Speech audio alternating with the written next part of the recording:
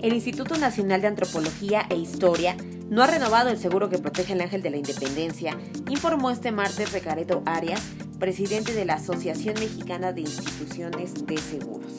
El monumento, sin embargo, se encuentra actualmente cerrado al público debido a trabajos de reestructura que se realizarán tras los sismos ocurridos en septiembre de 2017.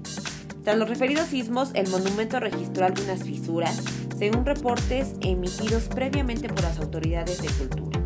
Los trabajos de reparación que se realizarán por los sismos, cuyo costo no se ha cuantificado, se suman a los de eliminar las pintas que se hicieron el pasado viernes durante la manifestación de mujeres para protestar por distintos casos de violación, impunidad y feminicidios.